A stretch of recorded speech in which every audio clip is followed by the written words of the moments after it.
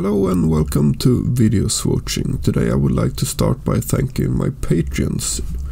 All of you make it possible for me to continue making videos and to improve the quality of them.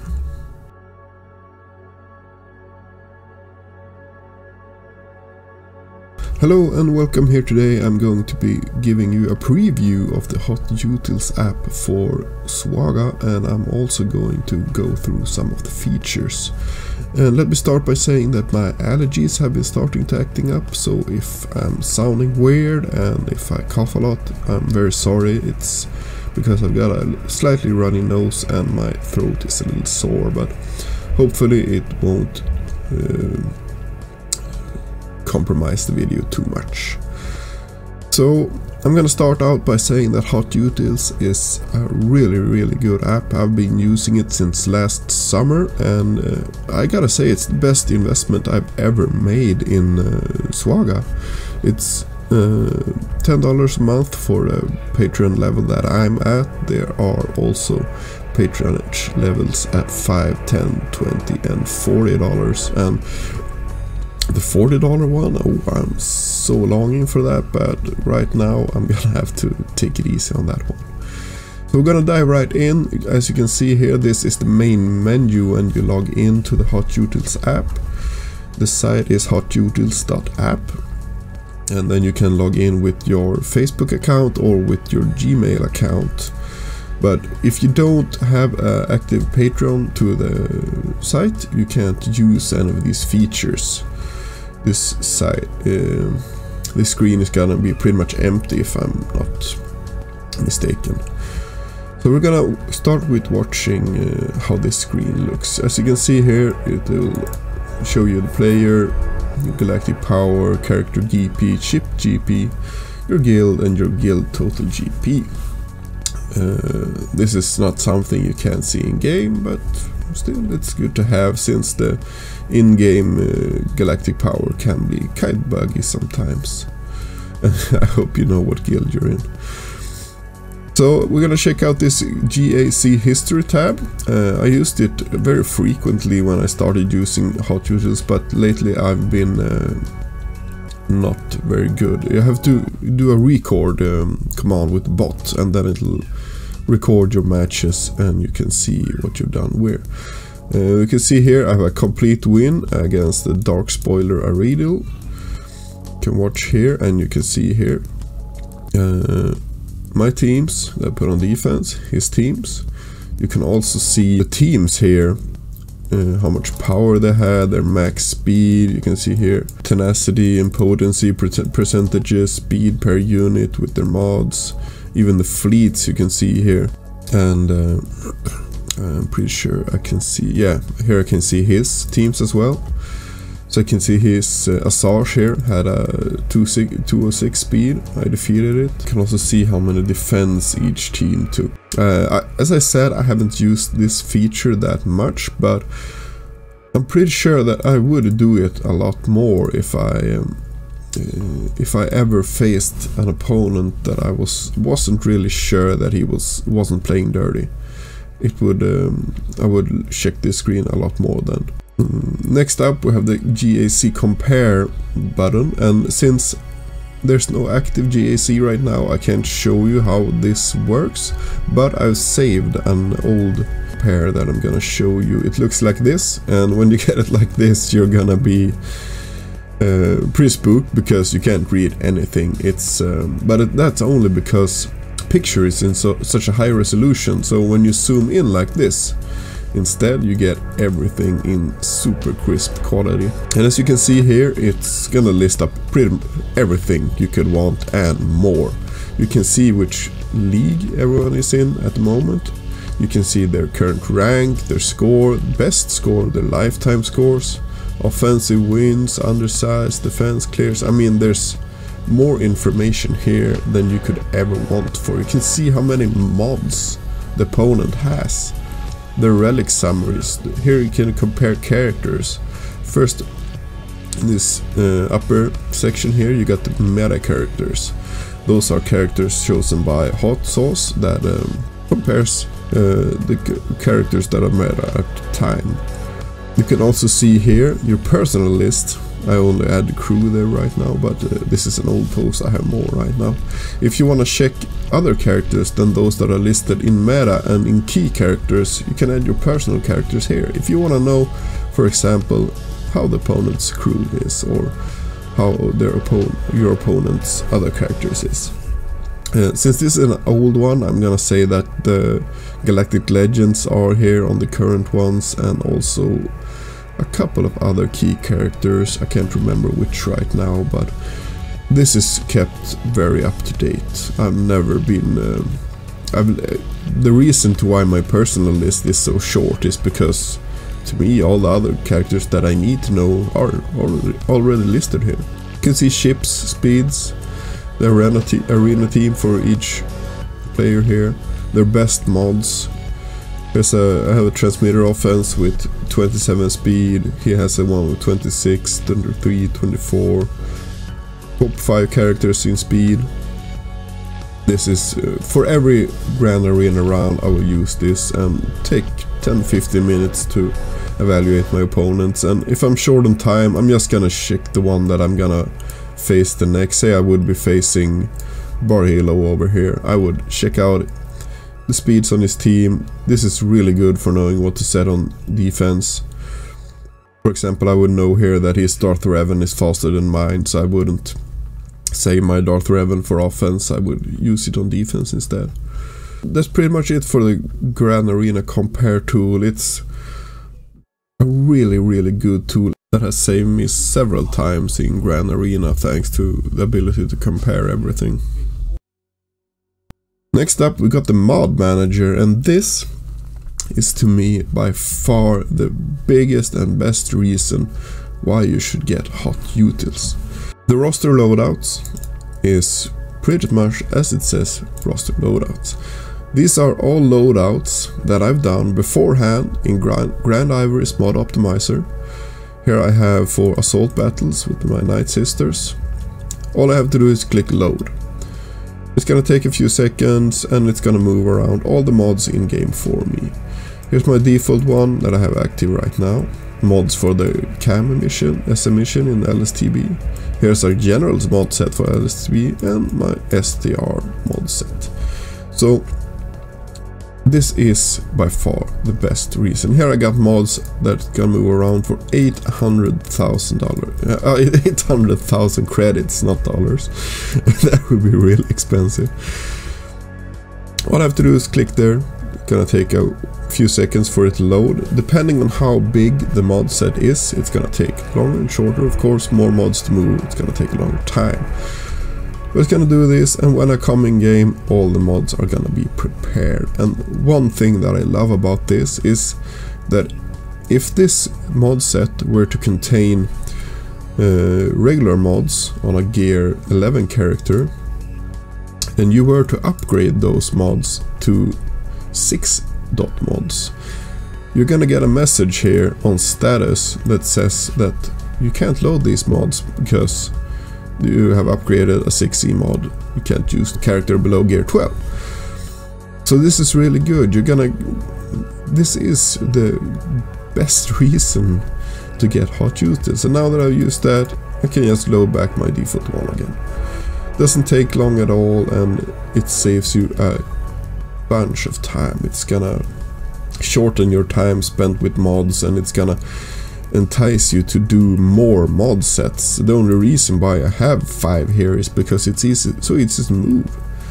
If I had to use the in-game sets I would be tearing my hair off each time I had to do a raid or when territory battles started or the assault battles began or anything. Also on this page you can see the unequipped mod manager this is a really really great tool for when you're farming mods or when you have to sort your mods if what's to keep what to throw away what to sell. And also Grandivory integration. This is pretty new for maybe a couple months back since after new year at least. All you have to do is click generate link. It's gonna take you to Grandivory.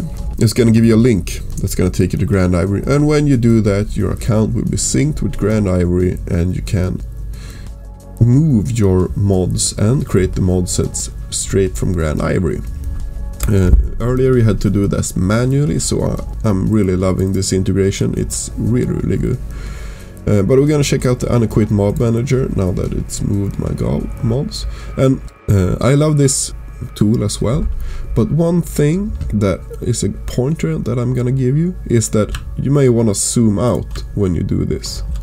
Because uh, it can... There's a lot of mods sometimes. Right now I have 78 mods here. And there's a 227 mods here. So if you don't get a good overview of it, it's gonna uh, make it um, harder to use. It's gonna not. It's not going to be um, so incentive to use for you.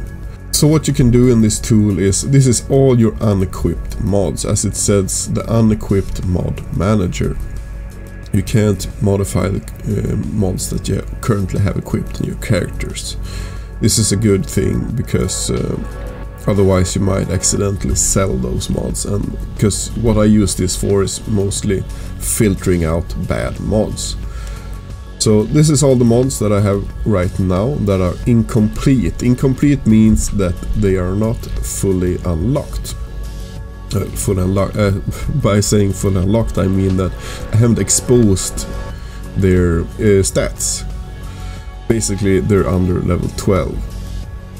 Uh, so what you can do then is I have all of these 72 marked. I click upgrade expose max gonna give you a warning. It gives you that warning when you pass, mm, I'm not sure about the number, but maybe 10 to 15 mods that you do at a time. If you do less than that, it's just gonna roll around and do the action for you. Gonna show me credits available, how much it's gonna cost, and how much I'm gonna have after. And all the mods are here. Press continue, it's gonna perform the action and the great thing about this is it doesn't take as long as it would take for you yourself to log into the game and manually um, upgrade each of these mods.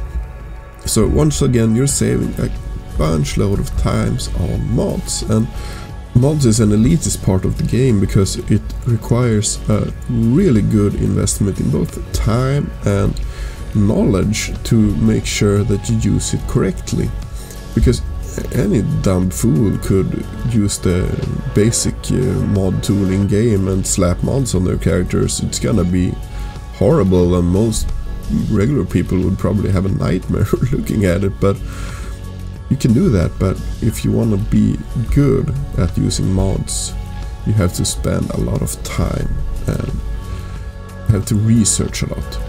So now I don't have any more incomplete mods. That's because I've unlocked all the stats and all the mods. So what you're gonna see in this list here that says unmatched mods, those are the currently unequipped mods I have. Uh, as I said, I mentioned earlier that they're uh, under level 12 and that's not completely correct because for a purple mod it's level 3, uh, blue it's 6, green it's 9 and white it's 12. What you do when you expose max is that you expose all the current stats on the mod. Now this looks pretty damn intimidating, even to me there's row and row and row after row with mods you can use the filters. Now, you can do a lot of things here. You can do stat value checks. I want speed that is greater than 5. Update mod list. And we got 24 mods left. Can do, uh, and then on that I can add offense that is greater than 30. Update again. 9 mods left. So I have 9 mods with speed higher than 5 and offense higher than 30 that's not equipped. And we can see here that most of them are already leveled all the way to 15 so I'm not gonna dive too much into this. I could do another video. I could do an entire video only about the unequipped mod manager because it's such a great tool and how to use this and stuff like that. But we're gonna keep on moving to the next part. So the last part of this preview of the HotUtils app is the SWGOH Events gear integration and this I'm pretty sure is available to all patrons starting from the first tier. These mod tools are available from the second tier, $10 tier. and the GAC part I'm pretty sure is available from the first tier as well. I'm gonna show you a picture at the end of the video that contains all the tiers and what you get from them. Uh, this SWGOH events uh, integration is great. I haven't before they released the Galactic Legends I haven't checked this out because I didn't actually really know what it, what it was good for but now I know it's really really good. What it does is when you press that button, it's gonna save all, it's gonna snapshot all the gear you have in game and then it's going to transfer it into here. And it's gonna fill out all these for you. I haven't pressed a single button on this window before yet HotUtils has for me filled out every single number in here. And why this is good is because the SWGOH Events Gear tool shows you exactly what you need to bring a character up to the gear level desired. Now I want to bring Galactic Legends Rey to gear 13 as well, of course, so all I have to do is check out all these boxes, see if I would remove that one, you see the numbers change. And then you can see I require 300 Kyrotech shock prods and 400 battle computers. And I need 162 shock prods and 126 battle computers. So that's what I own and this is what it's going to cost me to buy this and this is the total cost up here. Now I can add some more characters just so you can see how this develops if you would need more. I need 30,000 gems. Ooh, that's, uh, that's a lot. Now this is for the Galactic Legends Kylo requirements and I haven't started on my first orders pretty much at all. And you as you can see the list gets pretty long when you have a lot of characters that are low level that you need to level up. But this is a great tool as well. It's if you were to take your time and set this up you could get it working to your satisfaction but that's a lot of time. I mean, there's a lot of gear in this game. Look at this. Without counting, there's hundreds of gear here and having to... Since there's no inventory in the game, you can't easily check each of these gears. You'd have to find a character that needs the piece equipped to check how many of that piece he has and then write it over here. So this is another very great integration from Hot Sauce part. But besides that, this is what it looks like when you start the site. Uh, I didn't show it before since that would show my login credentials and I'm not really interested in that. But since I'm logging in now, I can go in here, press enter site and here we go. One thing important to note that I haven't mentioned earlier is that when you log into the site it's gonna log you out of the game so don't sit and uh, fool around with your mods when you're doing a territory battle Uh, combat mission or doing your squad arena or stuff like that because logging into the site log you out, logs you out of the game that's because otherwise it couldn't do all this amazing stuff with moving mods around and stuff like that. I would definitely recommend those of you that like your mods and do spend a lot of time modding, I would definitely, without a doubt, recommend you to get a $10 Patreon on uh, HotUtils. It's for me, it's been a game changer. I changed my mods more times than I can count each week, and every time I get a bunch of mods from the events in game or from double drops that we have now for May the 4th. I'm gonna go in here, go them, go through them, sell every all the junk and upgrade everything else. It's gonna keep your mod game top notch and it's gonna make sure that all other aspects of the game goes a lot better. Thanks for me and thanks to Hot Sauce for creating this amazing uh, utility. It's uh, really, really game changing. Take care of you all out there in this crazy world and until the next time, may the force be with you.